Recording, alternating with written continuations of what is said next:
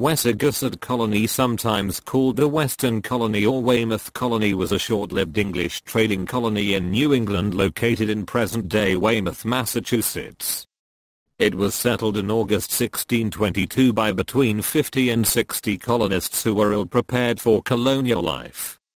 The colony was settled without adequate provisions, one and was dissolved in late March 1623. After harming relations with local Native Americans two surviving colonists joined Plymouth Colony, or returned to England. It was the second settlement in Massachusetts, predating the Massachusetts Bay Colony by six years 3.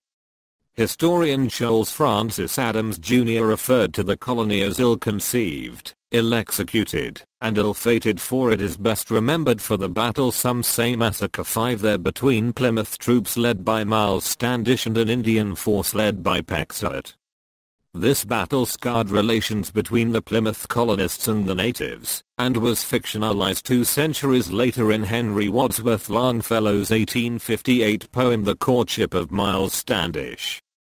In September 1623, a second colony led by Governor-General Robert Gorges was created in the abandoned site at Wessagusset. This colony was rechristened as Weymouth, and was also unsuccessful, and Governor Gorges returned to England the following year. Despite that, some settlers remained in the village, and it was absorbed into the Massachusetts Bay Colony in 1630.